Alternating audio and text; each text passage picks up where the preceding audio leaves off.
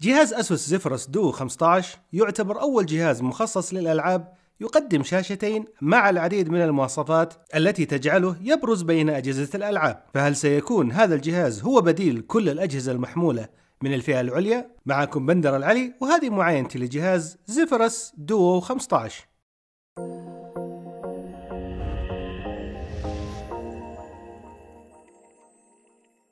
ما يجعل جهاز ASUS Zephyrus Duo مميزا هو الشاشتين التي يقدمها. وقدمت ASUS سابقا جهاز ZenBook Pro Duo بنفس الفكرة. ولكن هذه المرة مع شاشة ثانوية ترتفع بشكل تلقائي إلى الأعلى عند فتح الغطاء العلوي مما يقدم لك زاوية رؤية أفضل.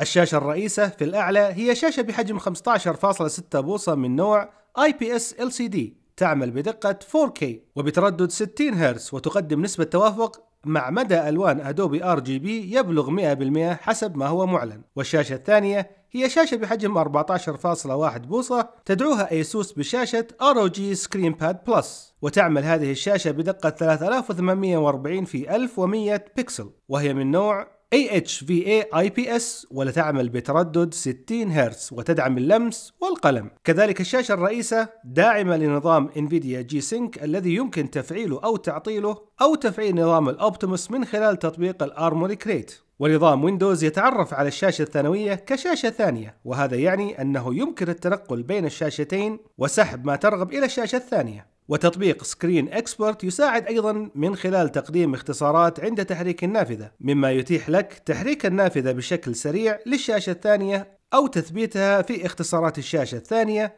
أو جعل النافذة تشغل كلا الشاشتين. وتقدم الشاشة الثانية أو ScreenPad Plus لوحة تحكم خاصة بها تدعم اختصارات لتطبيقاتك وخيارات للتحكم بالشاشة بشكل كامل. ونقل المحتوى المعروض بين الشاشتين وغلق لوحة المفاتيح لتتمكن من الرسم على الشاشة الثانية. ويمكن أيضا تقسيم الشاشة لتكون مناسبة للبث المباشر أو لصناع المحتوى خاصة في برامج المونتاج وتصحيح الألوان حيث أن الشاشة الأساسية قدمت بعد اختباري لها 98% من صحة ألوان ال sRGB و76% من نسبة ألوان أدوبي RGB خلال اختباري لها مع درجة سطوع بلغت 300 نت. بالعودة للتصميم الخاص بالجهاز وبالتحديد الغطاء العلوي نرى أنه مغطى بطبقة من المعدن مع شعار ال ROG الموجود في الزاوية والعاكس. وعند فتح الغطاء نرى لوحة المفاتيح التي يحيط بها أيضا إطار معدني ومجملا جودة البناء في هذا الجهاز جدا ممتازة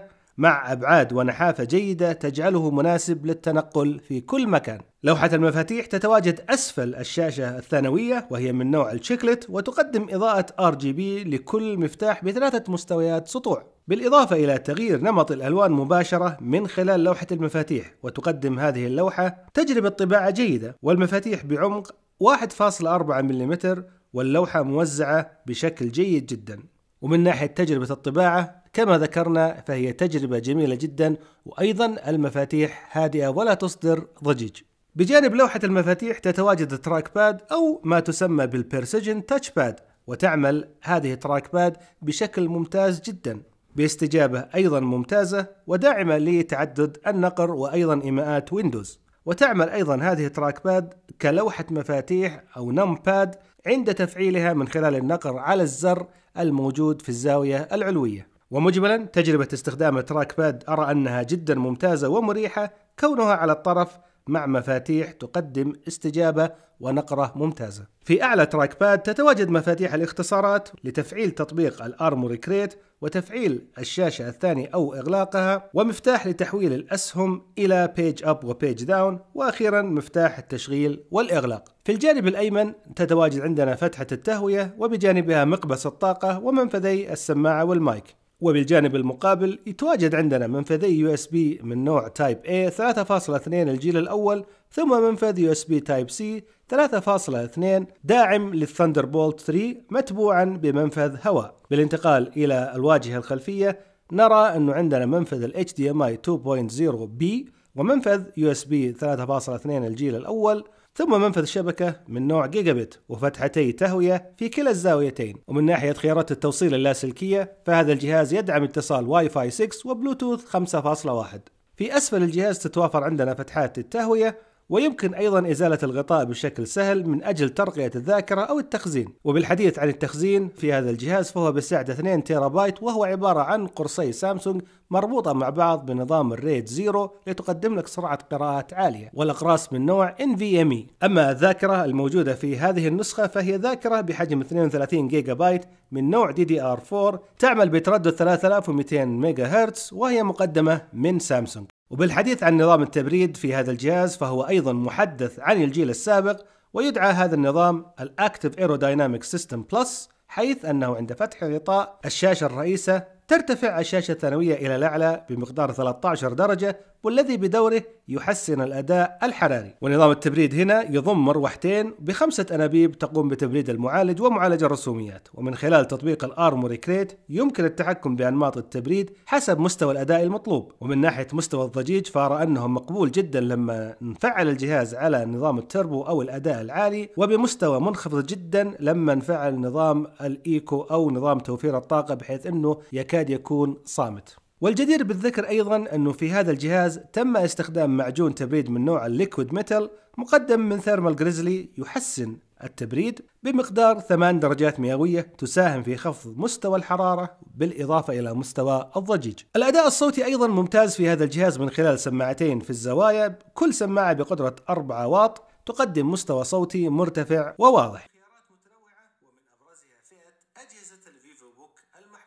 والتي تقدم تنوع يناسب شريحة كبيرة من المستخدمين خاصة من ناحية البطارية في هذا الجهاز هي بطارية بقدرة 90 واط ساعة ومن خلال نمط إس hybrid G-Sync يمكن إطالة عمر البطارية بإغلاق معالج الرسوميات أو ال G-Sync والتحول إلى كرت الشاشة الداخلي أو نظام ال Optimus لتحصل على عمر بطارية يصل إلى ستة ساعات عمل على الشاشة الرئيسة وأربعة ساعات عمل على كلا الشاشتين. يعمل جهاز Zephyrus Duo 15 بمعالج الجيل العاشر i9 10980 HK ومعالج رسوميات RTX 2080 سوبر من نوع Max-Q. ومن خلال تطبيق ال Armoury Crate مرة أخرى يمكن رفع أداء المعالج وكرت الشاشة بشكل تلقائي للحصول على أقصى أداء. بالإضافة إلى توفر نمط للتحكم يدوي أو manual نقدر من خلاله نرفع تردد المعالج وتردد معالج الرسوميات وأيضا سرعة المراوح. مع مراقبة أداء الحرارة ومعالج الرسوميات وبقية مكونات الجهاز والتحكم بها من خلال تطبيق ال Armoury Crate وقبل ما نشوف نتائج اختبار الجهاز هذا أحب أذكركم إذا ما كنتم مشتركين معنا بالإشتراك وتفعيل جرس التنبيهات ونشر الفيديو.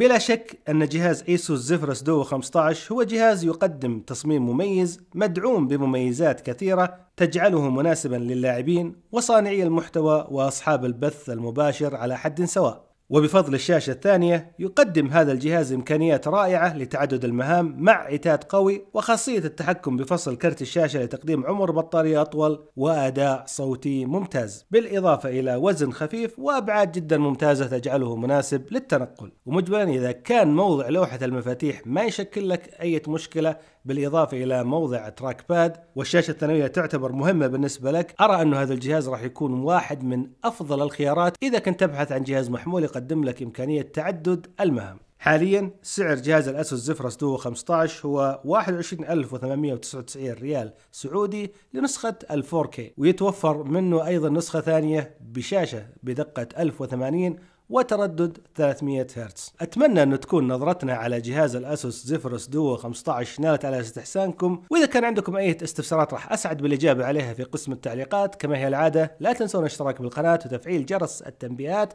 عشان يوصلكم جديدنا. كان معاكم أخوكم بندر. سلام عليكم.